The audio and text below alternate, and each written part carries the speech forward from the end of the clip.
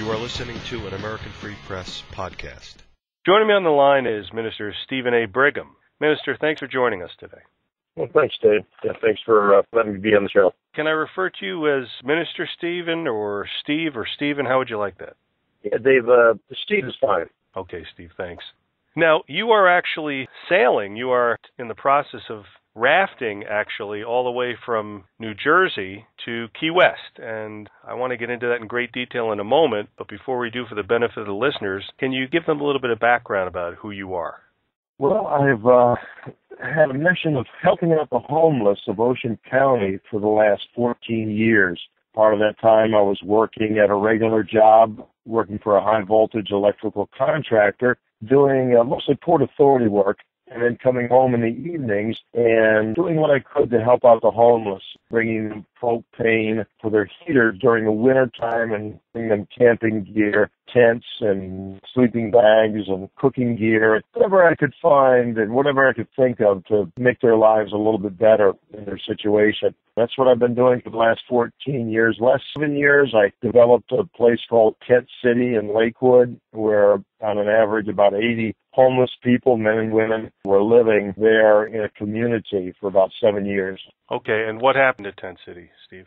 Well, it existed quite well for the seven years, except for the township of Lakewood. Well, the powers that be, I believe also the county had something to do with trying to make our life difficult, trying to do away with Tent City. And again, there is no homeless shelter in the county of Ocean, so there was no place for these people to go within the county but the powers that be, it didn't seem to matter to them. They just wanted to rid the county of the homeless, pass it on to Atlantic County that has a shelter in Atlantic City, and not live up to their responsibility to address everybody within the community, the poor also. Okay, and in fact, your design of sheltering and housing the homeless actually was much more cost effective than theirs, wasn't it? Extremely, extremely. Again, the county, the government can save a great deal of money by developing a little community type shelter system where there's small housing for the homeless that's sustainable and it's perpetual. And what they're doing right now is putting people in hotels in places like Seaside and up and down the Ocean County shore and it's costs an arm and a leg. It's about fifteen hundred dollars a month for just the hotel room. That's not including food and other necessities. That's just the hotel room. So we develop a housing unit for the homeless that would cost about eight thousand dollars for the one unit to build and put that in a community setting, again, that's a one-time cost and would save the save the county and the taxpayers a load of money, millions of dollars over just a couple of years. Hmm, amazing. I've been down to Tent City and reported on it, and thank you for being a wonderful host there and showing me and uh, other folks around, Steve. Well, thank you, Dave, for coming down and showing an interest in this subject. Mm-hmm. Now, let's talk about what you're doing now because this is something really interesting. Now, I learned a lot that you could actually take what are called these intercoastal waterways all the way from New Jersey, where you brought me there, that one spot in New Jersey, all the way to Key West. Now, why don't you explain to the listeners what exactly that means, and what exactly you're doing, and why you're doing it? Yeah, Dave, it's been a learning experience for myself also. I recently came to the knowledge that the intracoastal waterways of the east coast of America start right here. They start at the Manasquan River on the east coast of New Jersey, and they start there and they go all the way to Key West, Florida. You can go from this point at the Manasquan River all the way to Key West, Florida, on water without going out into the ocean. It's inland waterways that are protected all the way from here to Key West, Florida. And how are you traversing these waterways? Well, you know, Dave, I've been thinking about this idea for quite a while and trying to think of the type of watercraft that I would use. And I've been thinking about the issue of the homeless in Ocean County and just that the powers that be, the politicians are trying to chase them out of any area where they find them. In fact, they've outlawed homelessness in Lakewood. They made it a crime in Lakewood, New Jersey to be homeless. If they find you homeless in Lakewood, they can arrest you and put you in jail. It's absurd that you know, our country has come to this where it can be illegal to be poor. and homeless in America. Mm-hmm. So uh, what they're doing and what they've done is they're just chasing the homeless everywhere. So I'm, I'm trying to think of an idea. Where would the homeless be safe? Where is there a safe haven for the homeless? And I thought about the waterway. If we develop housing on the water, this way the homeless would be mobile, mobile, and they could move up and down the waterway. They could stay in one place or they could move down if they're not welcomed, if they don't like that area, it's not good for them economically or whatever. They can relocate. They can move their craft down the waterway. So, you know, I thought that might be a solution. So this kind of was birthed out of that idea. What would it be like to live on the water? So I developed a raft, a raft that's eight foot wide by 16 feet long. And I've got a nice canvas tent that's about nine foot by seven foot that I'm going to put on that raft at nighttime. Then I'll take it down in the morning, and during the day I'll sail. I put a sail, I put a mast and a jib, so it's got a mainsail and a jib on this raft, and I can sail during the daytime, and then at nighttime take down the mainsail, put the boom off to the side, and set up this tent and sleep on this during the night, and then again take it down during the day in the morning, and then sail again. And what's So again, a jib, Steve? The jib is the front sail. It comes off of the mast, the main aluminum beam that goes up to almost the center of the boat. And this jib sail is a cable that goes from the mast down to the front of the boat. So it's another sail. You got the main sail Okay. and the jib sail. Okay. So there's two purposes to this whole trip. And one is to see what it would be like to live on the water. During the colder months, I'll be gone. Hopefully, we'll be traveling through the rest of October and through November. So I'll have a taste of what it would be like to live on the water during cold months. The negatives and the positives to living on the water. Then again, also trying to bring attention to the issue of homelessness for the Ho County homeless, but also for the nationwide homeless. This is an issue that the nation is dealing with right now. We have a high cost of living in this country, and a lot of times the minimum wage is not enough for a single individual to afford a place to live. Most of the time it's not across America. So we have an economic discrimination, a class discrimination going on. We're discriminating against poor of our society. Yeah, I'm sure there's millions of people across this country who would absolutely agree with that, and it's getting worse by the day, it seems. So this raft is completely flat then, Steve? It is. It's completely flat, and it has an area a little bit forward of center for the mast, which can be taken down and set up during the trip. But it's completely flat. You know, it's unlike any other craft out there, conventional craft. It's more like a Tom Sawyer and Huckleberry Finn type of arrangement. These intercoastal waterways, do they get rough sometimes? They can. They can get very rough, depending on the size of the waterway, how big it is.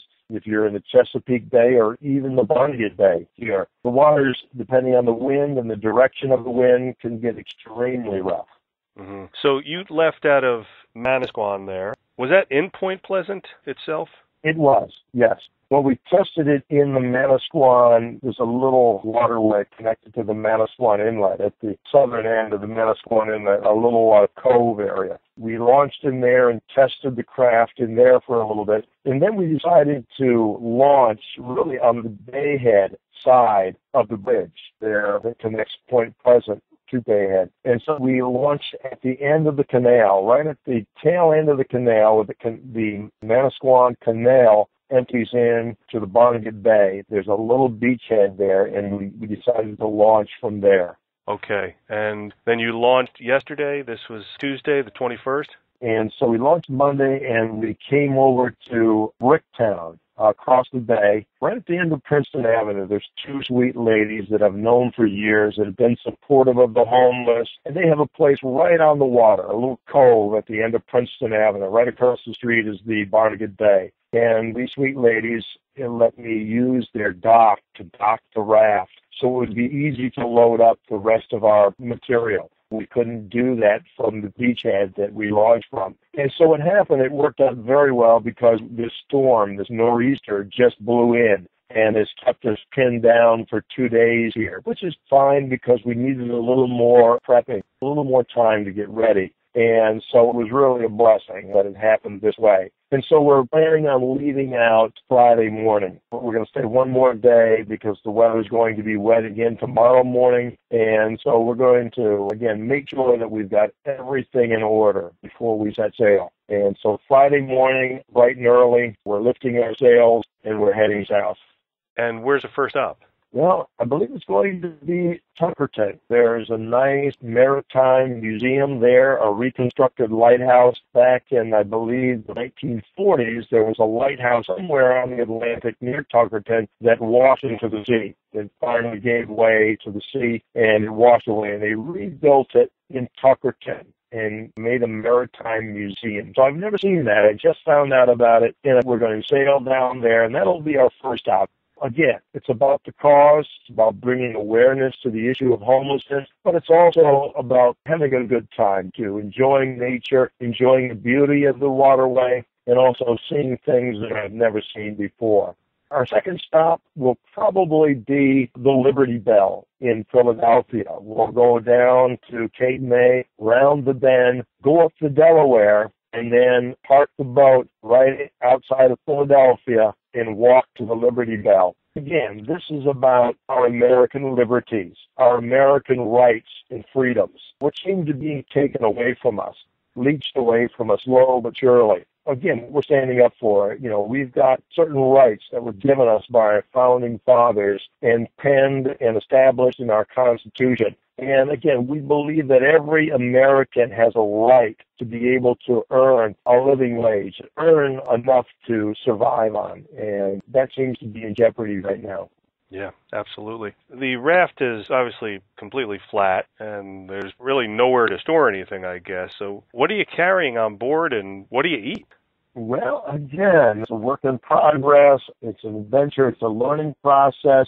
And some of the things that we'll be taking, of course, will be sleeping bags, zero rated sleeping bags in case it gets real cold, the tent that we're in, just some of the day to day necessity things like cooking equipment, pots and pans, things that everybody would need on a daily basis to survive. And what we hope to do is be almost entirely sustainable on the waterway. Fishing, we've got a clamming license so we can clam and have a lot of clam chowder and boiled clams or steamed clams. And again, trying to catch fish, maybe flounder or you know, whatever we can catch as sustainable as possible by the waterway. Okay. Now, of course, you've been homeless for many years, so really this isn't much of a bother to you actually to be where you're at because you were doing the same thing on land, but you're doing basically the same thing on water, right?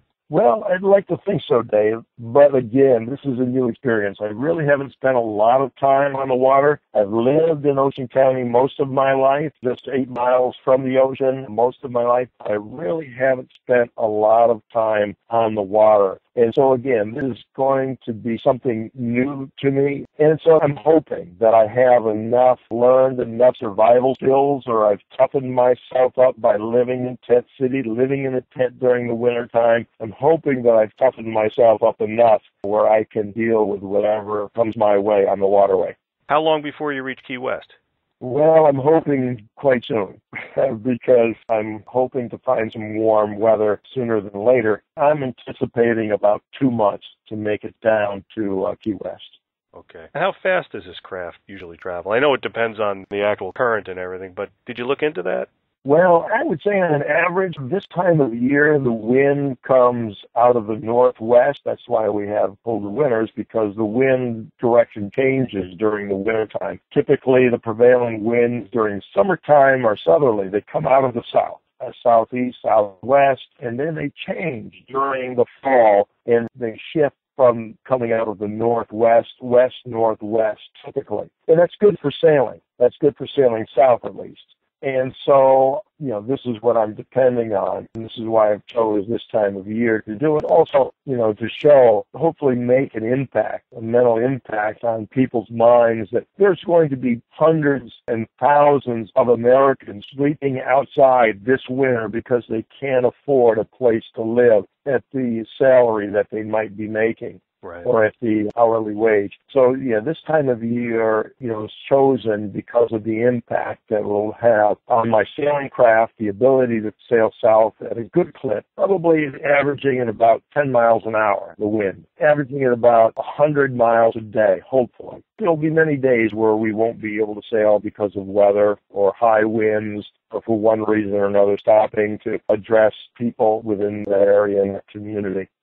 So uh, there's a couple variables. Do you know if this has ever been done before, Steve? It's been done many a time on conventional crafts, conventional sailing crafts or motor crafts. But this is the first time that I have ever heard of that somebody's going down on a raft and living on a raft all the way from New Jersey down to Florida. Wow. Any media coverage, Steve, besides, of course, what we're doing here? You know, Dave, I had reached out to a few media contacts that I had made from Tent City, and I contacted one fellow from RTV, which is Russian television. And first, you know, he said he was too busy, wouldn't be interested, but thanked me for contacting him. And then he called me back and he said, you know, Minister Steve, I talked to the people in Moscow, and they seem to be interested in the idea. And he says, I'm going to come up and I'm going to sail with you from New Jersey to Washington, D.C. That's where he's based. So just the other day, he came up, he came up Monday, the day that we launched, and he took a look at the craft and you could see the worry all over his face. he didn't know what he was getting into. But he's gotten used to the idea. He's been staying with us for the last few days. He's been filming us, been filming the preliminary emotions going into this and the preparing of the craft. He's getting into it. And I guess he's feeling more comfortable now. So there'll be three of us on the craft sailing south and three of us up to at least DC if everything goes well. Mhm. And then after you hit Key West in about two months, you're going to head back, same way you came? Well, I think we'll enjoy some of the warm weather, maybe for a little while at least. So again, you know, this is all up in the air. There's no deadlines. There's really no certain agenda that we've got to be in a certain place at a certain time. So we've got some leeway here. And so we're going to, again, if we feel comfortable, we don't feel a desperate need to get back to this area, we might just hang out in Key West for a while. Uh, sounds like a plan to me, Steve. Uh, desperate to get back to Jersey? Uh, nah. So we'll see how things go, David. We'll play it by ear. And again, you know, I feel a need again to address the issues of New Jersey, issues of Ocean County, seeing some of the disparity going on, seeing some of the, really the pandering of politicians to unethical and un-American and unconstitutional agendas at the expense of the American people, the expense of the American Constitution seeing these things go on in, front of me, myself, you know, being a many generation American, it upsets me to the core. I know I'm very aggravated and upset with the type of things that are going on in the political arena at this time in New Jersey and other places in America. Yeah, I'm glad you brought that up, Steve, before we close out the interview. Can you explain to the listeners about your lineage, about your ancestors? Well, I'm a 12th generation American, have an extremely well documented family history. Brighams got together at the first World's Fair back in the 1880s in Chicago. And they enlisted one of the Brighams, uh, an astute Brigham, to write the family history. And he did a tremendous job wrote a 400 page volume on all the Brighams, starting with Thomas Brigham, who came from England on a ship called the Susan back in 1635, and he settled in Cambridge, Massachusetts. And then the family history is recorded in detail with almost every Brigham. I can tell you the name of every ancestor, every forefather of mine back to 1635. Not only can I tell you the name, but what they did in some of the exploits, the bigger exploits of their life. Wow. So, you know, a tremendous gold nugget here of, of family history and its tie to the American history. 117 Brighams fought in the Revolutionary War of course, on the side of the Patriots against the British, and so what their exploits were during the war.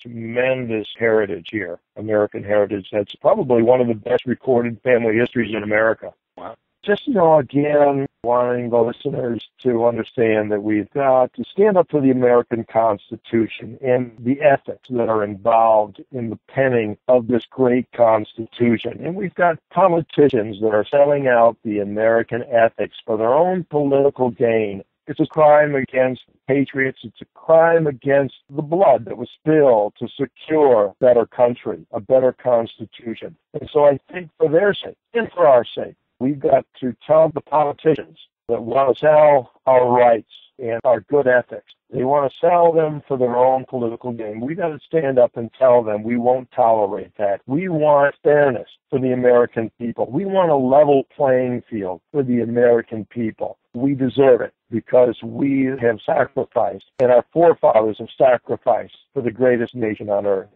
You're absolutely right. And is there any way for listeners to stay on top of your location and where exactly you are, where you're going to be? Yeah, they can look for my Facebook page, which is Steven A. Brigham. They can find me there, and then they can follow the trip by liking a Facebook page called Seeking Sustainability. And we'll be posting on that page continually, day by day. So if they like that page, they can follow us along the waterway on our journey.